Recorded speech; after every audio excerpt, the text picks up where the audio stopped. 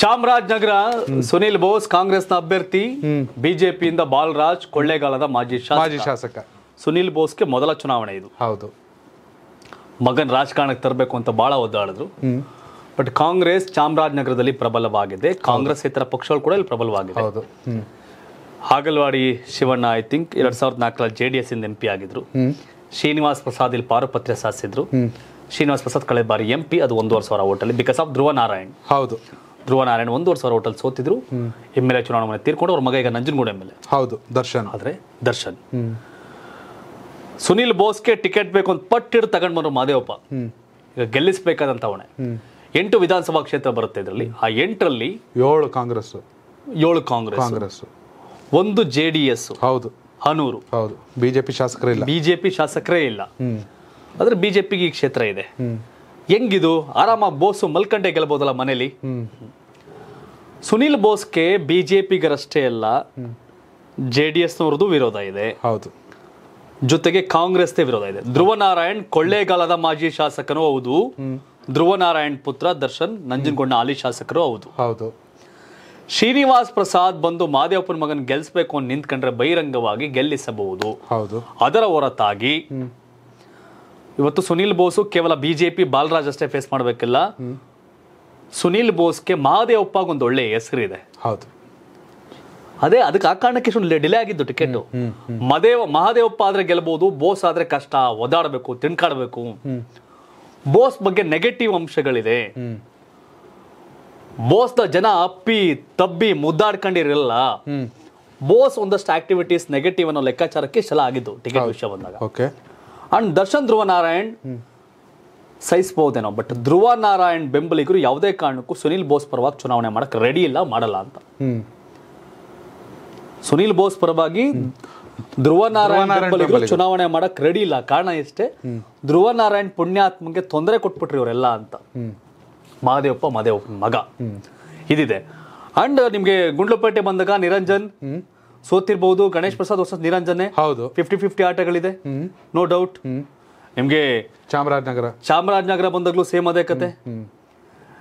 ನಿಮ್ಗೆ ಅನೂರ್ ಹೋದಾಗ ಒಂದ್ ಸ್ವಲ್ಪ ಜೆ ಡಿ ಎಸ್ ಬಿಜೆಪಿ ಇಂದ ಅದೇ ಲೀಡ್ ತಗೋಬಹುದು ಹೌದು. ಕೊಳ್ಳೇಗಾಲ ಮಹೇಶ್ ಮಾಡ್ತಾ ಇದಾರೆ ಲಿಂಗಾಯತ ಲೆಕ್ಕಾಚಾರದಲ್ಲಿ ಇದ್ದಾರೆ ಹೌದು. ನಾನು ಆಗ್ಲೇ ಹೇಳಿದೆ ಧ್ರುವ ನಾರಾಯಣ್ ಅವರ ಶಕ್ತಿ ಇಡೀ ಕ್ಷೇತ್ರಾದ್ಯಂತ ಇದೆ ಆದ್ರೆ ಕೊಳ್ಳೇಗಾಲ ಮತ್ತೆ ನಂಜನಗೂಡು ನೆಕ್ಸ್ಟ್ ಲೆವೆಲ್ಗಿದೆ ಸೊ ಇದು ಬಾಲರಾಜ್ಗೆ ಸಮಸ್ಯೆ ಬಾಲರಾಜ್ಗೆ ಏನು ಅಂತಂದ್ರೆ ಏ ಬಡಪ್ಪ ಮನುಷ್ಯ ಏನು ಪಾಪಿ ಅಲ್ಲ ಮನುಷ್ಯ ಒಳ್ಳೆಯವನು. ಕರೆಕ್ಟ್. ಈ ತರ. ಬಾಲ್ರಾಜ್ ಅಹಂಕಾರಿ ಅಲ್ಲ ಬಾಲ್ರಾಜ್ ದುರಹಂಕಾರಿ ಅಲ್ಲ ಅಲ್ವೇ ಅಲ್ಲ. ಅದೇ ಬರ್ತಿರೋದು ಕ್ಯಾಂಡಿಡೇಟ್ಗಳಲ್ಲಿ. ಹಾ ಬಾಲ್ರಾಜು ಬೋಸ್ ಟೈಪೇ ಆಗಿದ್ರೆ ಏನೋ ಒಂದು ಕತೆ ಆಗಿರೋದು. ಬಾಲ್ರಾಜ್ ಬೇರೆ ಸುನಿಲ್ ಬೋಸ್ ಬೇರೆ. ಸುನಿಲ್ ಬೋಸ್ ಲೆಕ್ಕಾಚಾರ ಬೇರೆ. ಚಾಮರಾಜನಗರ ಜೆ ಡಿ ಎಸ್ ಒಟ್ಟು ನಿಮ್ಗೆ ಗೊತ್ತಿರಲಿ H D Kote T Narasipura ಹಿಂಗಿದೆ. ಅನೂರು. ಈ ಜೆ ಡಿ ಎಸ್ ಒಂದು ಒಂದೂವರೆ ಲಕ್ಷ ಓಟು ಬಿಜೆಪಿಗೆ ಅರ್ಧ ಪರ್ಸೆಂಟ್ ಅರ್ಧ ನಾರಾಯಣ ಸ್ವಿಚ್ ಓವರ್ ಆಗುತ್ತೆ. ಕೋಟೆಲ್ ಒಂದಷ್ಟು ಬಿಜೆಪಿ ಬೋಸ್ಗೆ ಕಾಂಗ್ರೆಸ್ ಅಲ್ಲೇ ಓಟ್ ಸ್ಪ್ಲಿಟ್ ಆಗುತ್ತೆ ಅಂತ. ಹೌದು. ಆಗಲಿಲ್ಲ ಧ್ರುವ ನಾರಾಯಣ್ ಕಾರಣಕ್ಕೆ. ಈ ಕಾರಣಕ್ಕೆಲ್ಲ ಇದೆ. ಬಟ್ ಟಫೆಸ್ಟ್ ಈಸಿಯೆಸ್ಟ್ ಕ್ಷೇತ್ರ ಅನ್ಸಿತ್ತು ಇದು. ಬೋಸ್ ಅನ್ನೋ ಕಾರಣಕ್ಕೆ ಟಫೆಸ್ಟ್ ಕ್ಷೇತ್ರ ಆಗುತ್ತೆ. ಮಾದೇವಪ್ಪನವ್ರು ಆಗಿರೋ ಈಸಿಯಸ್ಟ್ ಈಸಿ ಈಸಿ ಅವರು ನಾನು ಮಂತ್ರಿ ಇದ್ದೀನಿ ನಿಂತ್ ಗೆದ್ದು ಬಿಟ್ರೆ ಮಂತ್ರಿಗಿರಿ ಹೋಗುತ್ತೆ ಮಗುನ್ಗೆಲ್ಲ ಮೇಲೆ ಫ್ಯೂಚರ್ ಸೆಟ್ ಮಾಡಬೇಕು ಹೌದು. ಅವರು ಪ್ರಕಾಶ್ ಹುಕ್ಕೇರಿ ನೆನ್ಪು ಮಾಡ್ಕೊಂಡು ನಿಲ್ತಾ ಇಲ್ಲ ಅಷ್ಟೇ. ಎಸ್ ವೀಕ್ಷಕರ ಚಾಮರಾಜನಗರದ ಸಂಸದರು ಯಾರಾಗಬೇಕು? ಬಾಲರಾಜ್ ಅವರ, ಸುನಿಲ್ ಬೋಸ ಕಾಮೆಂಟ್ ಮೂಲಕ ತಿಳಿಸಿ ಯಾರು ಪ್ರಧಾನಿ ಆಗಬೇಕು? ನರೇಂದ್ರ ಮೋದಿ ಅವರ, ರಾಹುಲ್ ಗಾಂಧಿನ. ಕಾಮೆಂಟ್ ಮಾಡೋದನ್ನ ಮರಿಬೇಡಿ. ಧನ್ಯವಾದಗಳು. ಇದು ಕರ್ನಾಟಕ ಟಿವಿ. ಕನ್ನಡಿಗರ ಧ್ವನಿ. ಜನ ಪ್ರತಿದಿನ ಟೈಮ್ ಸರಿಯಾಗಿ ಊಟ ಮಾಡ್ತಾರೋ ಬಿಡ್ತಾರೋ? ಆದರೆ ಪೊಲಿಟಿಕಲ್ ಟ್ರೆಂಡ್ ಏನಿದೆ ಅಂತ ಪ್ರತಿದಿನ ಪ್ರತಿ ಕ್ಷಣ ಕಾಯ್ತಿರ್ತಾರೆ. ಕರ್ನಾಟಕದ ಆಕಾರದಲ್ಲಿ ಯಾವ ಅಭ್ಯರ್ಥಿ ಅಬ್ಬರಿಸಿದ್ರು, ಮತ್ಯಾವ ಅಭ್ಯರ್ಥಿ ತತ್ತರಿಸಿದ್ರು ಅಂತ ನೋಡೋಕೆ ಕಾತರದಿಂದ ಕಾಯ್ತಿರ್ತಾರೆ.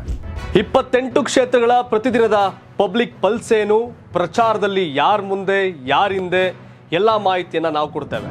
ಕರ್ನಾಟಕ ಕುರುಕ್ಷೇತ್ರ ಇಪ್ಪತ್ತೆಂಟು ಕ್ಷೇತ್ರಗಳ ಡೈಲಿ ನ್ಯೂಸ್ ಪ್ರತಿದಿನ ರಾತ್ರಿ ಎಂಟು ಗಂಟೆಗೆ. ಯೂಟ್ಯೂಬ್ನಲ್ಲಿ ಕರ್ನಾಟಕ ಟಿವಿ ಅಂತ ಸರ್ಚ್ ಮಾಡಿ, ನಂತರ ನಮ್ಮ ಕರ್ನಾಟಕ ಟಿವಿ ಸಬ್ಸ್ಕ್ರೈಬ್ ಮಾಡಿ, ಸಬ್ಸ್ಕ್ರೈಬ್ ಆದ್ಮೇಲೆ ನಿಮಗೆ ಹೋಮ್ ಪೇಜ್ ಬಂದರೆ ಕಮ್ಯುನಿಟಿ ಅನ್ನೋ ಆಪ್ಷನ್ ಸಿಗುತ್ತೆ. ಈ ಕಮ್ಯುನಿಟಿ ಆಪ್ಷನ್ ಕ್ಲಿಕ್ ಮಾಡಿದ್ರೆ ನಿಮ್ಮ ಕೆಳಗಡೆ ಇಪ್ಪತ್ತೆಂಟು ಲೋಕಸಭಾ ಕ್ಷೇತ್ರಗಳ ಒಂದು ಪೋಲ್ ಕ್ರಿಯೇಟ್ ಮಾಡಲಾಗಿದೆ. ನೀವು ಹೋಗಿ ಇಪ್ಪತ್ತೆಂಟು ಕ್ಷೇತ್ರಗಳಲ್ಲಿ ಯಾರು ಗೆಲ್ತಾರೆ, ಯಾರು ಗೆಲ್ಲಬೇಕು ನಿಮ್ಮ ಸಪೋರ್ಟ್ ಯಾರಿಗೆ ಅಂತ ಅಲ್ಲಿ ನೀವು ಕ್ಲಿಕ್ ಮಾಡ್ಬೋದು, ಅಂದರೆ ವೋಟ್ ಮಾಡ್ಬೋದು.